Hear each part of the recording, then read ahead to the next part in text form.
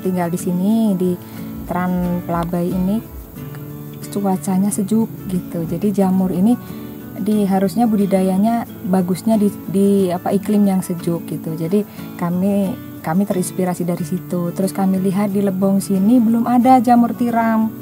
Nah, hmm. Jadi kami punya punya inisiatif seperti ini. Kebetulan suami itu juga bisa bikin gitu loh. Dulu pernah belajar tentang jamur. Gitu.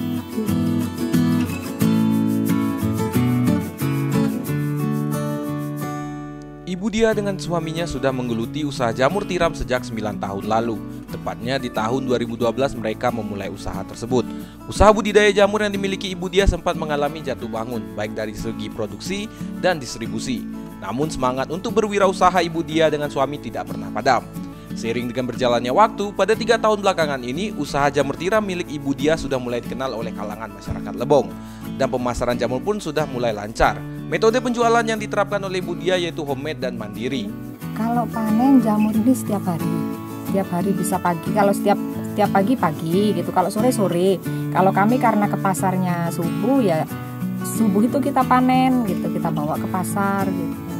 Biasanya sore sore juga ada lagi yang besar gitu. Kalau ini kita panen lagi gitu. Bertani jamur tiram sangatlah mudah. Jamur hanya membutuhkan tempat yang lembab dengan suhu 24 derajat Celcius sampai dengan 27 derajat Celcius.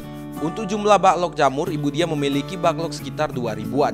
Penyiraman baklok jamur dilakukan di pagi hari. Jika cuaca siang hari sangat panas, maka akan disiram kembali. Dianjurkan untuk rutin membersihkan baklok jamur. Untuk kegiatan panen dilakukan setiap hari sebelum terbitnya matahari. Dalam sekali panen, keluarga ibu dia mendapatkan hasil sekitar 10 kg jamur untuk dijual setiap harinya. Antara ini gini, kalau kita ngomongin kata kalau kita ngomongin bibit yang mau ditanam ke backlog ini kita masih beli di Jawa. Tapi kalau ini bahasanya ini namanya se, seperti botol ini itu namanya backlog. Nah, kalau kita sekarang udah bisa produksi ini. Tapi untuk bibit yang ditanam di backlog ini kita masih di Jawa. Jadi kalau seandainya ada kawan-kawan, ada ibu-ibu atau keluarga yang pengen budidaya jamur itu kita tinggal hubungin kita aja gitu.